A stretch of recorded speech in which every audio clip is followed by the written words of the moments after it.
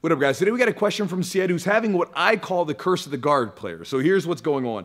In his training right now, his sweeps, his submissions, his guard retention, all of his bottom stuff is coming together really nicely. And he's able to attack people and be very uh, offensive off of his back. All that's good, right?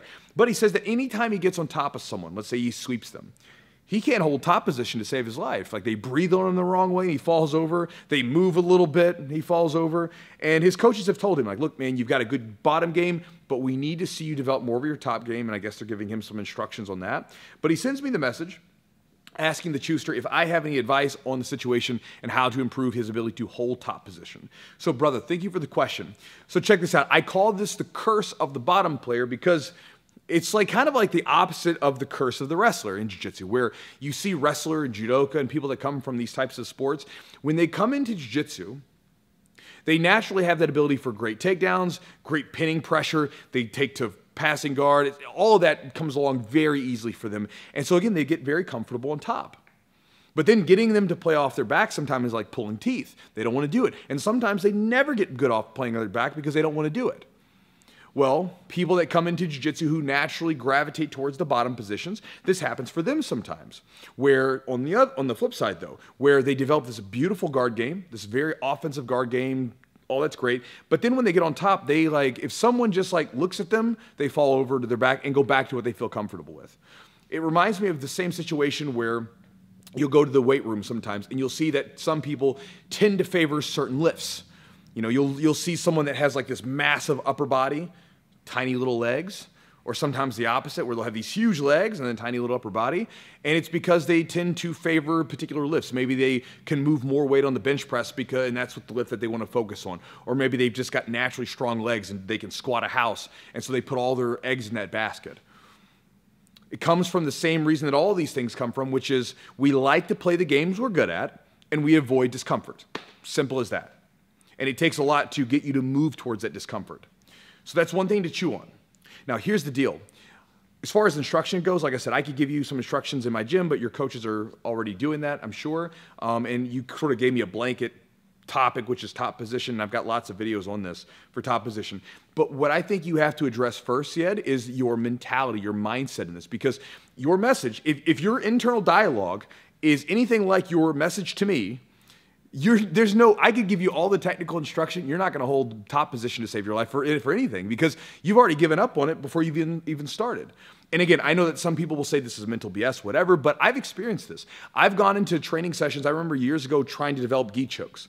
I'm not naturally great with collar chokes and gi chokes, but I wanted to get better with them. I've always been really good with arm chokes, like kimuras and everything else. I've got short arms and uh, they're fairly strong, so I can naturally play those positions. But I wanted to add gi chokes in to add a, another element to my submission game. Well, I remember there was one session where I'm going for a gi choke on someone. I'm trying to finish it. But in the back of my head, I remember noticing the inner dialogue talking to me, this little voice if you've watched my videos long enough, I, I, talk about this little voice, the, the weak, the weakness in you, right? Saying, oh man, you're not gonna finish this. There's no way you're gonna finish this gi choke. You suck with gi chokes, remember? And then noticing that. And I don't know if it was that same session or if it was the next session. They, you know, the things get a little fuzzy as I get older, but I shook it off. And I remember going into my roll and that day and it's like, okay, I'm going to submit someone with a collar choke. This is what's going on in my head. I don't know who I'm going to submit, but I'm submitting someone today with a collar choke. And lo and behold, I finished someone with a collar choke. No real technical difference, just a different mentality that it took to that roll. And so that, I think that's really important for you because, again, if I said Syed, your wife, your kids, your family, your friends, whatever, I don't know, um, are sitting over top of a burning pit. I'm just making shit up. Um, but you're going to lose your family, your friends, whatever, if you do not hold top position, if you do not stay on top for 30 seconds. I bet you'd find a damn way to stay on top for 30 seconds, wouldn't you see? Right?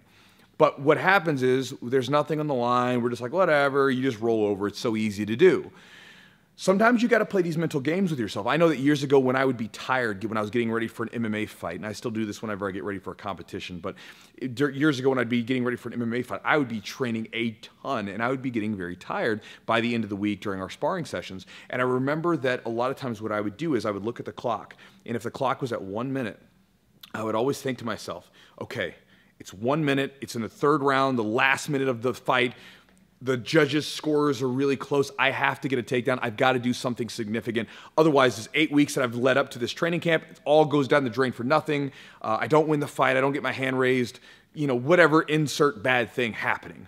I remember I would take a deep breath and I would go. And I've always done that, right? I always look at the clock and or I'll place these little conditions on myself, especially when I'm trying to push myself. And so what I would encourage you to do is as you're getting the technical instruction from your coach, you got to change your mindset. And if you notice that your mindset is that you can't hold top position, you have to change that. Now, you can play those mental games like, you know, I have to hold this for 30 seconds, you know, to win the tournament or to whatever. You know, you can insert the situation. Maybe you can find something that works for you. But if nothing else, you just have to shake off your shit a little bit and you can't allow yourself to walk into the roll with this mentality of, I can't hold this position oh shucks, you know, I'll play on my back again. You have to get ready to hold that position. And again, it's just, it's a mentality thing, bro. I've seen this happen with two, tons of people. It was with me with other positions like playing off of my back. Um, I know years ago when I was playing off my back as a wrestler, I didn't want to be there, and it took a lot of mental focus for me to be comfortable enough to play off that position. So anyway, just a couple ideas to chew on, Syed. Good luck with your training. Talk to you guys next time.